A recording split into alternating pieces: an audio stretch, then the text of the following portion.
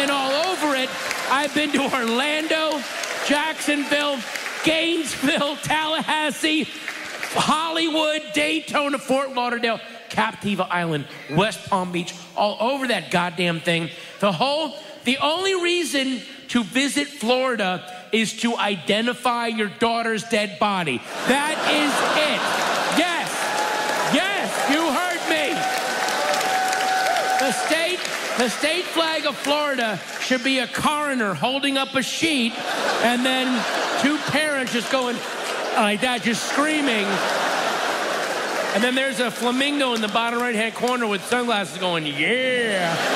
And then in in like Latin, in Latin it says, "Why did she go into porn?" And that's the that's the state flag of Florida.